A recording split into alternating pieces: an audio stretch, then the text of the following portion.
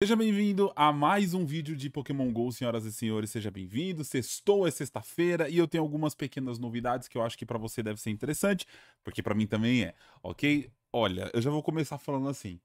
Lembra que ontem eu conversei com vocês e eu falei assim: "Ah, esse negócio de Pokémon GO 2.0 não é um negócio que vai blá, blá, blá, blá, blá." Pois bem, não é que é um 2.0, mas tem tanta coisa, mas tanta coisa pra chegar e tem tanta coisa pra mudar que talvez seja um pouquinho 2.0 sim. Então, nem é e também não é. Se bem que eu falei, eu também, ao mesmo tempo, eu falei que, né, é, tem, tinha mais de uma coisa, porque é, na legenda estava escrito em plural, né? Bom, vamos começar. Vamos começar pelo começo. Bom, isso aqui é tudo que tá no código do jogo, tá? Então vocês podem acessar o Pokémon, ou Pokémon não, perdão, o Pokémon Group e, e dar uma olhada lá por vocês mesmos, caso vocês queiram ver mais detalhes ainda do que eu vou falar e do que eu vou especular por aqui ou não especular, tá bom? Além disso, tem o Discord deles e tem outras coisas também como fóruns e Reddit, só pra uma galera que às vezes é, não entende de onde vem essas informações, são todas do código, mas dentro do código quem minera são, é mais de uma pessoa e aí a, a informação se espalha e essa- essas minerações vêm de maneiras diferentes às vezes. Mas na maioria das vezes eu uso o Pokémon que eu, eu acho mais confiável, ok?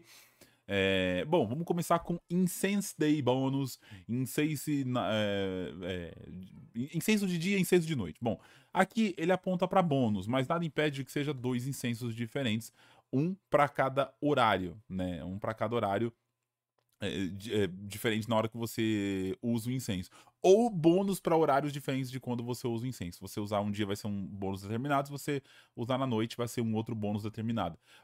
As duas ideias eu acho interessantes. Eu gosto mais da ideia do, do incenso diário e um incenso noturno. O diurno, na verdade, um noturno. É, Só que eu sei que vai um pouco. Um pouco de encontro com o incenso que a gente já tem no jogo, que é um incenso diário de 15 minutos lá, for free, de graça e não sei o que. Mas se tivesse um incenso di- di- diurno e um incenso noturno, também acharia interessante com pokémons que só podem aparecer de dia, pokémons que só podem aparecer de noite, ou pokémons que aparecem regularmente na- pela Pokédex de dia, ou pokémons que têm hábitos noturnos. Não necessariamente que só aparece à noite, né? Tem esse item MP, que aqui em cima já tem até uma. uma. é, uma nomenclatura para ele, que seria um- uma categoria de itens, né? Algo para você ter uma categoria no- nova de itens dentro do jogo. É tipo itens pra quest, itens pra, sei lá, pra captura, ou itens de, é, de dia a dia, ou itens de aumento de qualidade, enfim, é só uma categoria, né? Aqui, senhoras e senhores, todas as fusões que a gente estava falando ontem do jogo, que seria na teoria e na prática a nova mecânica do jogo, elas ganharam ah, no código um recurso para todas essas fusões acontecerem. Então seria o quê? É uma, como eu posso explicar isso? Seria uma espécie de, de além do tutorial delas, né? Além do tutorial de como você faz essas fusões, pelo que eu entendi lendo isso aqui, me parece que cada fusão é, vai ter um item diferenciado para você poder usar para fusionar esses Pokémons. Fundir, né? Eu não quis falar fundir para não parecer um palavrão, mas não dá para fugir, né? Fundir é uma palavra muito mais legal do que funcionar, né? Mas enfim. Continuando, senhoras e senhores, é, cada uma delas parece ter funções a mais dentro do jogo. É, vamos começar, vamos começar não, né? Vamos falar de Duskmane e Downwings daqui a pouco, que é a- a- são as formas da Necrozma em fusão com o Solgaleo e a Lunala. E a gente vai falar delas daqui a pouco, tá? É porque elas têm coisas. Além disso, é, cards de localização, fundos de imagens de Pokémon de evento foram colocados para GoFest esse ano, ou seja, devem ter Pokémons específicos com fundos é, diferenciados para cada localização que você pegar presencialmente, ou quem for Fly GPS for jogar lá na base do Fly. É, aí, ó, a- falando aqui nessa parte que eu tava falando com vocês, o Dialga e o Palk Origem, como a gente já sabe, eles têm itens que influenciona no mapa. Item não, né? Eles têm funções mecânicas que influencionam no mapa. Aparentemente, a Necrozma, tanto a versão da Wings e o, a, o, o Duskmane, com o Solgaleo e a Lunala, essas fusões também terão funções no mapa. Os dois movesets de assinatura desses dois pokémons foram inclusos no código do jogo há um tempo já, e dessa vez eles receberam uma, uma atualização. Então a gente tem o Moongast Beam, que eu não sei qual é a tradução exata, seria tipo, sei lá, um raio lunar, alguma coisa assim. É... Ou raio da lua, algo, algo nesse sentido. E tem o Sunset, é, o Sunsteel Strike, que seria, sei lá, soco do sol de aço, algo assim, ou o golpe do sol de aço. Eu tô indo pela tradução literal porque eu não sei como que eles vão traduzir isso aqui em português. Aliás, já tem a tradução provavelmente, mas de cabeça não sei e confesso para vocês que esqueci de procurar. Então você nos comentários aí, é, que é o ortodoxo do rolê e já sabe a tradução, se puder me dar essa informação, vou agradecer. Então, aparentemente, esses, esses ataques também vão ter influência no mapa, assim como o de Alga e o Palkia também tiveram influência no mapa é, através desses últimos acontecimentos do jogo, né? Últimos eventos do jogo. Lembrando que o, esses dois efeitos também custaram Dusts e Doce dos Pokémons, e eu acho que isso acompanha também, deve acompanhar também, tanto pro Duskmane quanto pra. pra. o. Ah, Lunala Necrosma e Sogaléu Necrosma. Down Wings, pronto, lembrei. Aqueles que esquecem né, o nome dos Pokémons na hora. Bom, além disso, senhoras e senhores, novos, de novo, novos visuais dentro do mapa, mais uma vez.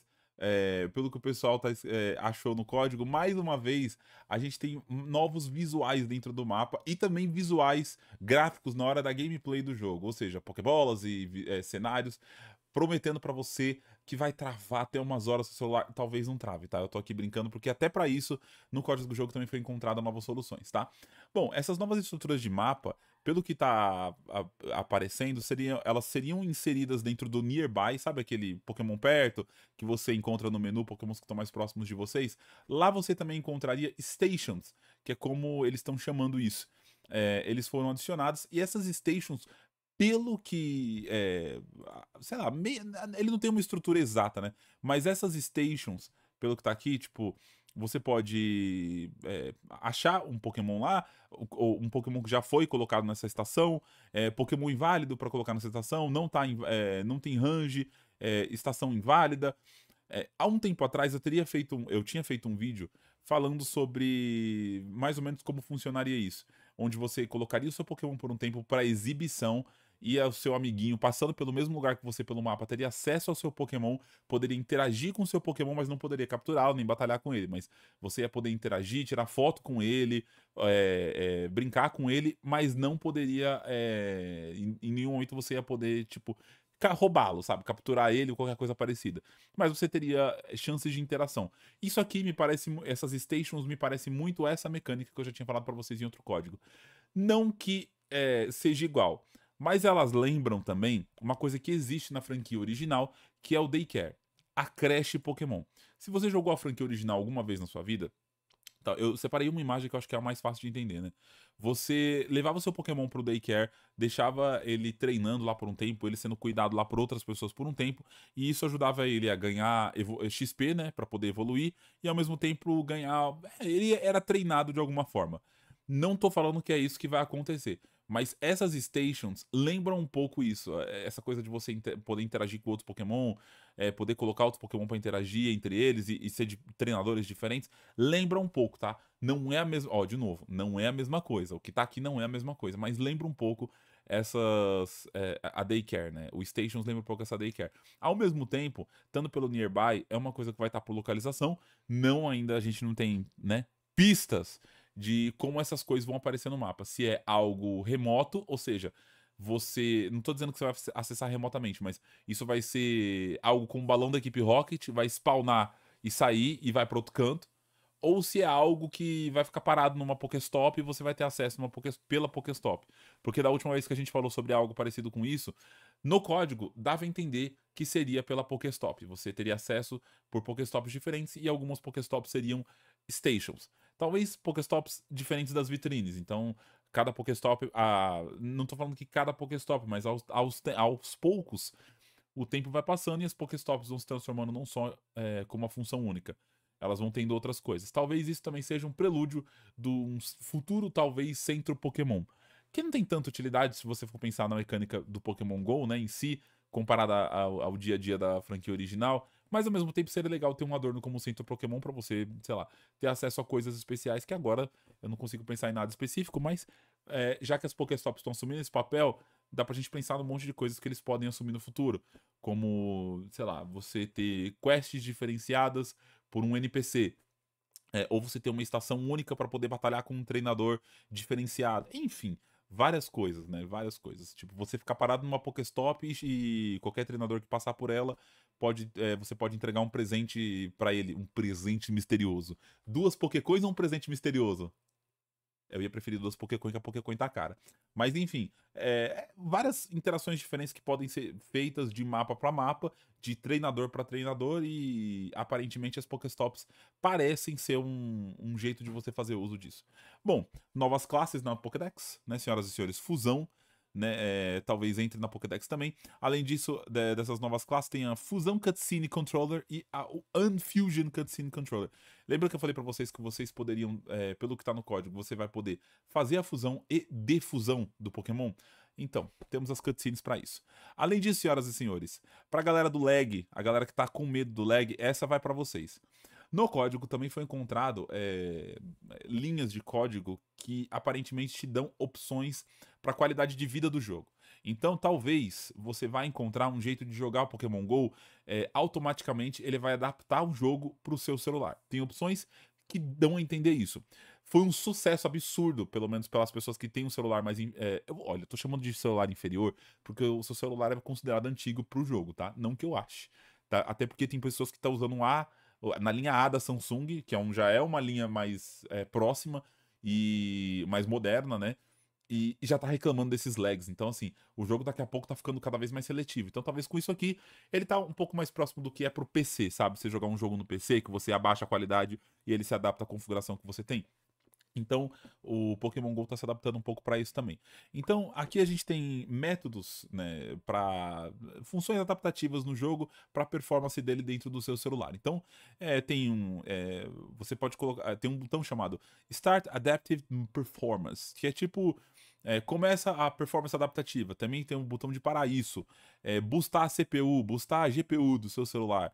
É, você, é, funções para você ter acesso ao frame rate do, do jogo para o seu celular e também é, a escalação de resolução, que é uma coisa que aparentemente deu muito certo, a galera curtiu. E eu acho que isso, isso aqui eu elogio muito a Niantic, porque demorou, mas chegou, entendeu? Isso aqui era pra estar desde o começo do jogo, para ser sincero. Mas não, o tempo já passou, não dá para reclamar. Mas dá para elogiar. É, isso aqui vai ajudar muito a galera, principalmente que não tem uma, um recurso financeiro maior para poder ter acesso a celulares como a linha S da Samsung ou iPhones, né, 15, 14, 13, 12, sei lá, é, ou a versão Pro, ou qualquer uma delas dessas. Geralmente a galera que joga Pokémon Go assiduamente, às vezes despenca para um Xiaomi porque o custo-benefício é maior. Então, de qualquer maneira, isso aqui deve ajudar a galera que tem uma linha de celular um pouco mais antiga ou um pouco menos é, ou um pouco mais ultrapassada, que era a moderna, que é um celular forte, que é um celular bom, mas que para Pokémon Go atualmente tem ficado um celular é, mais considerado pro jogo ultrapassado. Então é, isso deve ajudar, deve ajudar a adaptar o seu jogo para a performance que o seu celular vai funcionar melhor, ajudando no uso da bateria e também na vida útil do seu aparelho. Nossa, eu falei muito como o cara da Polishop, mas você entendeu. Outras coisas ainda, senhoras e senhores, envolvendo Station, é, ainda tem, são de interação. Isso aqui é um pouco menos de gameplay, mas também é interessante, que é você poder explorar a estação, você poder entrar no lobby, ou seja, mais de um. Se tem lobby, significa que tem mais de um treinador ali. É, aberturas de, da, da, de itens, né, da, da bag de itens do jogo. É, funções de ajuda, é, mostrar premi premiação por interação, ou seja, aparentemente com, com a interação dos Pokémon você deve receber recompensas por isso. É, esse Save for Later é uma coisa que me deixa confuso, então não vou especular muito porque pode ser muita coisa. Pode ser você chega na estação e você salva a interação. Ou você é, é, deixa algum item com Pokémon que você pode guardar para depois. Enfim, pode ser uma infinidade de coisas. É, você pode dar uma olhada no Pokémon que você deixou estacionado. Tô usando a palavra estacionado, mas não é isso, né? Que você deixou em exibição na estação. É, Pokémons que estão é, no lobby e você pode escanear também o código do lobby e voltar para o mapa. São tipo opções que estão na estação, na estação. Então essa mecânica nova, eu tô chamando de mecânica, mas não sei bem se é uma mecânica ou se é uma função de fato.